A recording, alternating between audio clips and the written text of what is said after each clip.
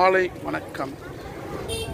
இன்னைக்கு நம்ம இருக்கிற இடம் வந்து பார்த்தீங்கன்னா முப்பத்தி ரெண்டு அடி உயரம் கொண்ட சர்வ வியாதிகர விஸ்வரூப பஞ்சமுக ஆஞ்சநேய கோவில் நம்ம இங்கே இருக்கோம்.